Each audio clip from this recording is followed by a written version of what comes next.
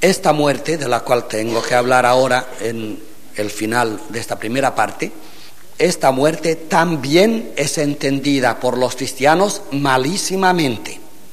Cuidado con la muerte. Una cosa que sabemos hoy, también hace pocos años, es que la muerte pertenece a la vida, no a la muerte. ¿Se entiende esto? La muerte no sucede dentro de un paisaje muerto. La muerte sucede en el corazón de la vida.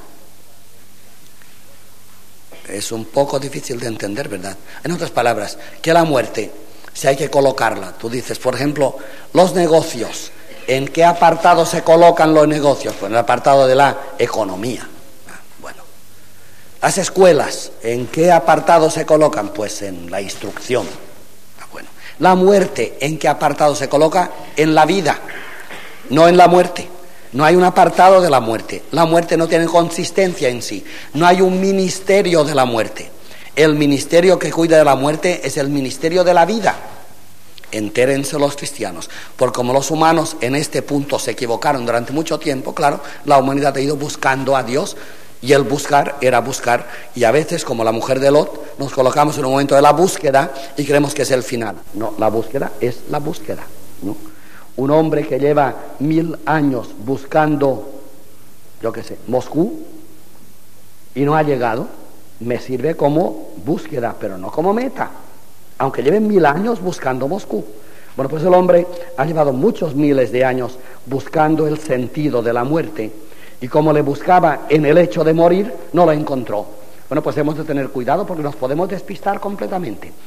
Eh, no basta buscar, nos interesa seguir la línea de la búsqueda, pero hasta que la búsqueda ha llegado a su meta, la meta no nos vale, hasta que no ha llegado a su meta. Normalmente la muerte es otro elemento de desintegración o de alienación. Entendemos que la vida llega, viene la vida durante 80 años y en un momento dado toca aquí y ahora sucede la muerte, que es el tronchar la vida. La, muerte ha quedado, la vida ha quedado descabezado con la guillotina de la muerte. Yo vivía y en un momento dado, plas, ha caído la, la, cuchilla, me ha cortado. Esta es la visión de la muerte de la humanidad todavía hoy. Bueno, pues esto no se puede decir de ninguna manera. Esto ya no lo cree nadie, ni se puede creer. Y no lo digan ustedes así porque no hay para qué ir por la vida mintiendo. Porque al que miente, ni las misas del domingo le salvan. Ni las misas del domingo le salvan. No se puede mentir. No se puede mentir. La muerte pertenece al apartado de la vida. La muerte sucede en la vida. Y la muerte es el momento más vital de la vida. Nunca en la vida hemos vivido tanto como viviremos en el momento de la muerte. Y este momento de la muerte es tan vital que si la vida consiste en el logro progresivo del hombre, esto está apuntado ya a través de la creación, si la vida es el logro progresivo del hombre, hasta que el hombre no ha pasado por esta cima de la vida tan cimera que es la muerte, no se puede decir que el hombre haya logrado su meta de la vida. Luego, donde el hombre logra la meta de su propia vida es en aquel acto vital de la vida que llamamos la muerte el hombre antes de morir no está logrado. El hombre solamente da su talla y su dimensión en la muerte. Por esto los que no han muerto no pueden hablar del hombre porque no lo son. Esto va para nosotros. Y los que pueden hablar de la muerte y del hombre porque lo son, son los muertos, a quien los vivos orgullosamente llamamos los muertos, cuando son ellos los vivos, evidentemente. Ellos son vivos porque a través del último acto de la vida han logrado la vida total. Nosotros que no hemos pasado todavía por el acto último de la vida, no tenemos la vida total. Esto es existencialismo, pero es cristianismo, curiosamente. Ya he dicho tantas veces que los existencialistas, sin ser cristianos, dieron las exposiciones más luminosas o las interpretaciones más luminosas que se pueden hacer del cristianismo. bueno, pues la muerte, ¿qué es? No es que la vida viene y en un mal momento interviene la muerte, no. Toda la vida camina hacia la muerte. Bastaría recordar una cosa que a veces no recordamos, y es que Cristo murió. Estamos hablando de Cristología. Ahora estamos en uno de los núcleos de la Cristología que habremos de desentrañar todavía. Cristo murió. ¿Y qué sucedió en la muerte de Cristo? Que con su muerte destruyó nuestra muerte y nos dio la vida. El cristiano es aquel que sabe que su muerte ya ha sido pulverizada.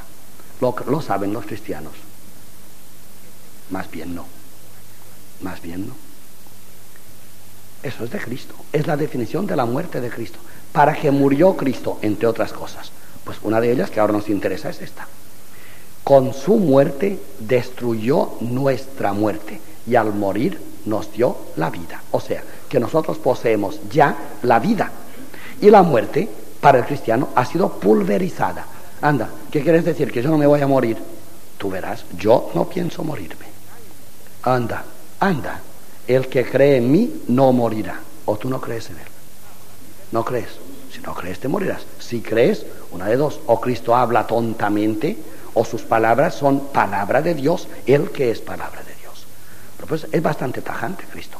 El que cree en mí no morirá. No morirá. Pues ya está. Ah, pero no, no morir. No, que es morirse. Esto es lo que veremos ahora a continuación. Pero hay que tener cuidado. ¿Cómo? ¿Y tú qué te crees que es morirse? Intenten durante el recreo una definición, a ver si nos acercamos a la verdad. ¿Qué es morirse?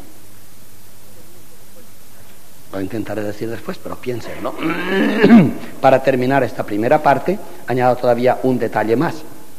Pero me gustaría que así como tomamos en serio ciertas palabras de Cristo para atormentarnos, por lo menos hagamos un florilegio de palabras de Cristo para gozarnos, por ejemplo que creo que Cristo más bien vino para que tuviéramos vida y alegría, porque para que tuviéramos muerte no hay ningún texto que lo diga, ni hacía falta que viniera. El que cree en mí no morirá. Ustedes recuerdan, con ello termino, cuando murió Lázaro, lo cuenta San Juan, que es el más teólogo de todos, lo de la muerte de Lázaro a lo mejor es una pura parábola, es posible, pero es igual, si es parábola está perfectamente montada. Muere Lázaro, Cristo está lejos, sus hermanas mandan recado y le dicen al Señor, bueno, primero estaba enfermo, Lázaro está enfermo. Y al final le mandan a decir que ha muerto. Y Jesús se hace el tonto, como sabía hacer muy bien. Y, y, además lo hizo durante toda la escena de San Juan que la pinta adrede. Jesús muy, muy cachaza llega a los cuatro días. A los cuatro, fíjate, es un retraso interesante ya para un amigo que está muerto y que él podía haber salvado. Encima, animal, no les pregó ni, ni un instante. Y además hablaba con los discípulos, dice San Juan, que es pillín, habla con los discípulos y decía, vamos a Lázaro que está enfermo. Y los discípulos dicen, pues ya está enfermo, ya se curará. Y Jesús se calla y sigue. Y al día siguiente, de camino, Jesús dice, es que Lázaro ha muerto. ¿Eh? Y, y ahora nos lo dices. O sea que Jesús sabía que había muerto. Ahora no lo Y vas tan así, tan cachaza. Bueno, llega Jesús y Marta, que era la lista de la familia, era judía Marta, amiga de Jesús, pero judía.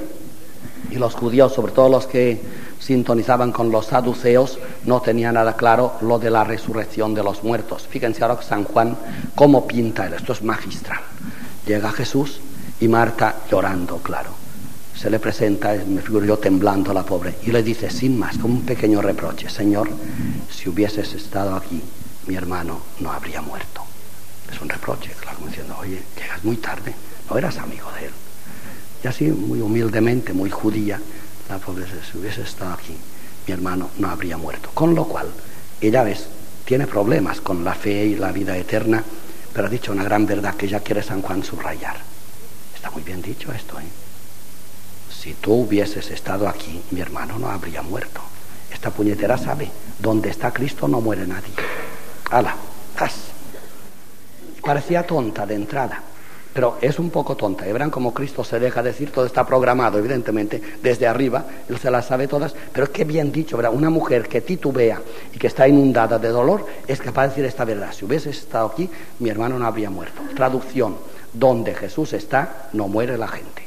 ¡Hala! ¿No decíamos esto? ¿Lo ves? ¿Y por qué no muere la gente? Porque donde Jesús está, la gente está en el corazón de las cosas salvándolas. No se muere nadie. Bien. Y Jesús tira el anzuelo pero tira enseguida. Dice, bueno, como tonto. Noten que bien Marta ha dicho, Señor, si hubieses estado aquí, mi hermano no habría muerto. Y Jesús, como tonto, dice, tu hermano resucitará. Así, como una tontería. Y Marta coge y duda y dice, sí, ya sé que resucitará en el último día. Como diciendo, vaya consuelo que me das. Que es lo que decimos todos, para eso lo pone San Juan, ¿verdad? Se muere un familiar muy querido y viene un amigo o un cura y te dice, bueno, no llores tanto, tu hermano resucitará. Y tú dices, vaya consuelo. Eso es Marta, esa es Marta. Jesús le dice, pero noten bien, prepárense porque ahora viene la palabra. Marta, Jesús dice, tu hermano resucitará, no llores tanto, mujer. Y ella dice, uh, esto ya lo sé, sí, resucitará en el último día, el escatón. ¿eh? Esto está muy lejos. Y aquí Jesús se enfada, se pone tieso y dice, Marta, yo soy la resurrección. Si estoy aquí, tu hermano está en la resurrección ya, ¿te enteras? Eso es fundamental. De eso quiero hablar en la segunda parte. Yo soy la resurrección, yo.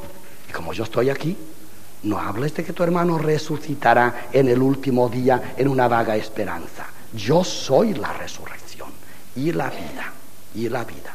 Tu hermano, por tanto, está en la resurrección y en la vida. Como eres tontina, te lo voy a resucitar, con lo cual tu hermano pagará la fiesta. Lo siento, te lo voy a resucitar. Pero ahora, en este momento, ya está en la resurrección y en la vida. Lo vamos a trasladar aquí en la muerte y en la preparación de la resurrección y el pobre, por tu culpa, tendrá que arrastrar un poco más. Pero en este momento él está ya en la resurrección y la vida. O sea, que retengamos esta idea. Cuando los cristianos decimos, sí resucitaremos el último día, Cristo no está de acuerdo. Se pone tieso y dice, yo soy la resurrección. ¿Estoy yo en ti o no lo estoy? ¿Sí? Pues yo soy la resurrección. ¿Ya está resucitado? No lo estoy. Entonces, no hay resurrección, evidentemente.